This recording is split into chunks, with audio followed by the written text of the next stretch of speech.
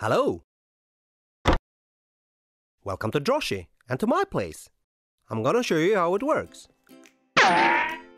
David is online and thinks, I want to open up a business. What should I do? Hmm, it can cost a lot to start. I do not want to take big risks or lose money and I want to be able to handle it from my home. What should I do? I'm gonna open up a web shop. But what should I sell? And how can I afford to buy my products? And where can I find them? Droshi. Jackpot!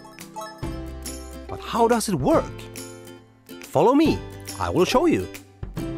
This is Julia. She loves to shop online. She enters your website, yourwebshop.se, to buy a gift to her lovely boyfriend. She finds something she likes. Fantastic! Now she makes an order just like in any regular store. David gets ecstatic. He just got his first order in his web shop.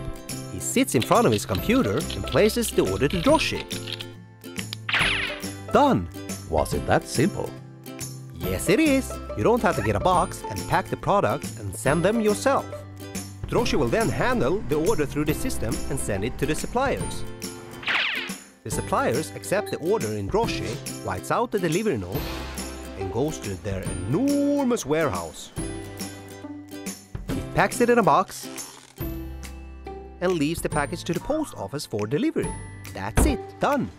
Now Droshi and the supplier have done their job. Mission complete.